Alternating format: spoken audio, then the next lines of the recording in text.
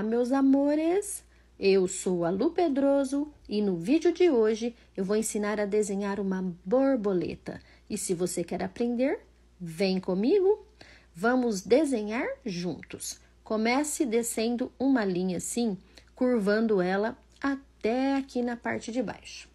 Agora você vai curvar uma linha aqui dentro e ela precisa ser maior que esta linha daqui de cima. Então, eu vou aumentar ela um pouquinho. Agora, curve outra linha aqui na parte de baixo. Ela não precisa ser muito grande.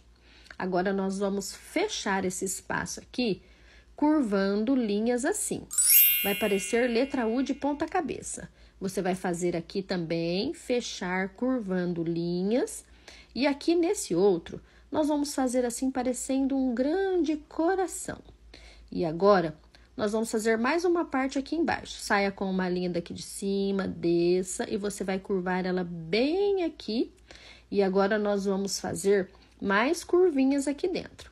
Letra U assim de ponta cabeça. Você vai fazer aqui também. Vamos fazer mais uma vez aqui. E neste de baixo, você vai apenas subir uma linha assim.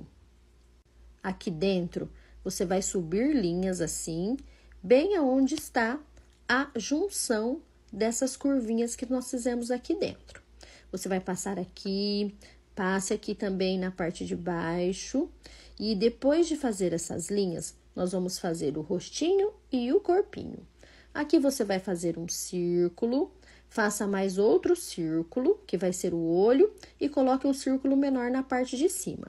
Pinte a parte de baixo, respeitando o círculo menor de cima. Agora faça a anteninha. Suba uma linha, faça um caracol na pontinha. Aqui vai subir outra linha e fazer um caracol na pontinha. O corpinho, você vai curvar uma linha aqui, faça outra curvinha, mais outra, curve lá embaixo e suba até aqui. No corpinho, você vai passar linhas até chegar aqui na parte de baixo.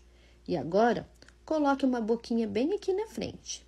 Bem aqui na asa, eu vou colocar um detalhe colocando assim pequenos círculos, mas você pode usar a sua criatividade e colocar muitas outras coisas.